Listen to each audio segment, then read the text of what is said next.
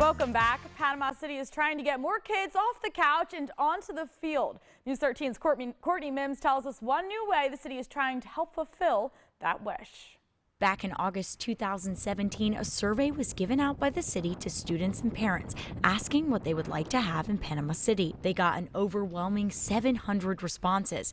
But what did students ask for?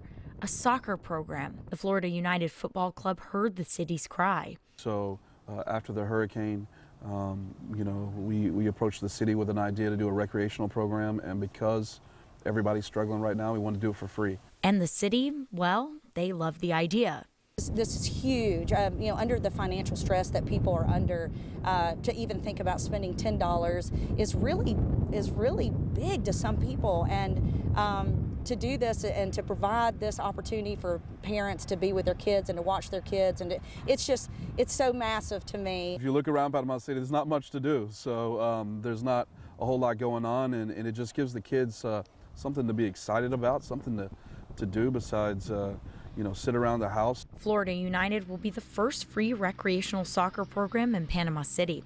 And another great part about it is the fields are easily accessible.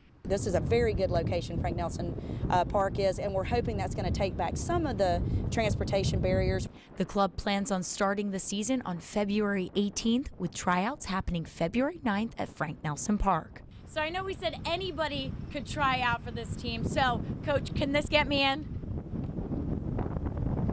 Well, we did say anyone. Yes. So you're in. Yes. Courtney Mims, News 13, Panhandle Strong. Unfortunately, Courtney doesn't fit the age range, but all kids between the ages of 3 and 14 can come try out. The club is also currently looking for coaches, so if you're interested in helping out, signing up, or just learning more, go to mypanhandle.com.